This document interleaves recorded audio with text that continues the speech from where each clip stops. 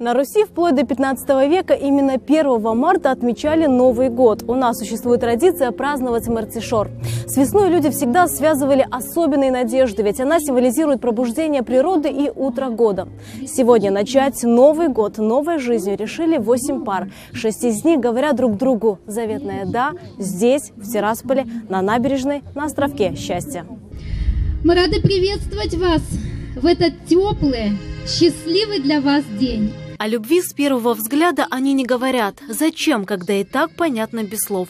Какими параметрами измеряется счастье? Для Кристины и Валерия все просто. Солнечная погода, теплые, искренние улыбки друзей и родных. И еще самое главное, сегодня день рождения их семьи.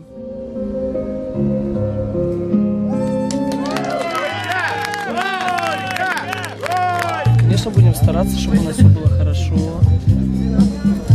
Много деток. Будем вкладывать в наших деток все, что мы не вложили в самих себя. Ваш семейный огонек должен всегда гореть, давая свет и тепло вашей семье.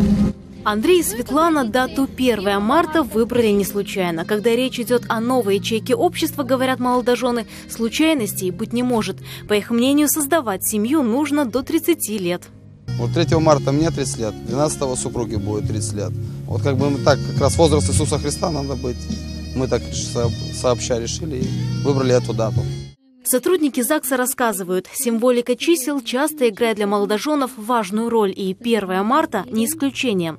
Цифра 1 сулит быть всегда первыми, вместе как одно целое. Ну а март, может, не зря наши предки называли его началобытным.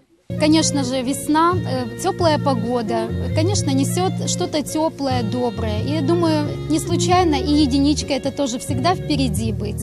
Впрочем, все как один молодожены уверены, счастье в семейной жизни от погоды, уж тем более от времени года, не зависит. Сохранить весну и тепло в отношениях под силу только им самим.